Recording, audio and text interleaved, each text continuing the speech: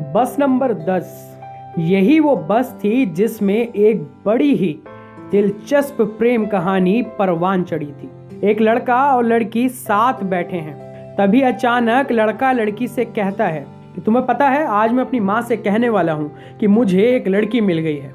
लड़की झिझकती है और पूछती है, क्या मतलब? कौन है वो लड़की? लड़का धीरे से कहता है, यही जो मेरे बगल में बैठी है। ये लड़की थी दिल्ली की तीन बार मुख्यमंत्री की कमान संभालने वाली शीला दीक्षित, जिन्होंने दिल्ली की सूरत बदली। लड़का था विनोद दीक्षित। विनोद कांग्रेस के बड़े नेता उमा शंकर दीक्षित के एक लोते बेटे थे।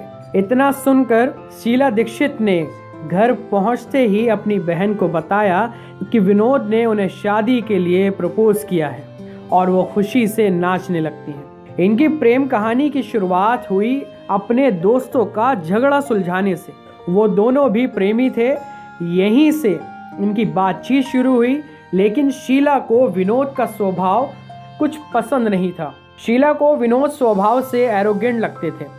लेकिन उस दिन के बाद से दोनों बातें करने और समय बिताने का मौका कभी नहीं छोड़ते थे। दोनों एक दूसरे को लव लेटर लिखते। मज़े की बात ये रही कि विनोद उस वक्त पढ़ रहे थे और शीला से शादी करना चाहते थे। शीला जानती थी कि अगर घर पर बताऊँगी तो वो पूछेंगे कि लड़का क्या करता है।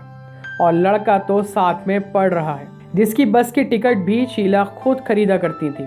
बहरहाल, दो साल बाद उनकी शादी हुई, जिसमें बड़ा विवाद हुआ, क्योंकि शीला ब्राह्मण नहीं थी। इसके बाद विनोद को आई की परीक्षा में कामयाबी हासिल हुई, वो पूरे भारत में नवे स्थान पर थे। उनकी पोस्टिंग उत्तर प्रदेश में हुई ये थी देश की राजधानी की तीन बार सीएम रही शीला दीक्षित की प्रेम कहानी ऐसे ही मज़ेदार कहानियाँ देखने के लिए हमारे चैनल को सब्सक्राइब करिए ताकि आने वाले वीडियोस आपको टाइम पर मिल जाएँ।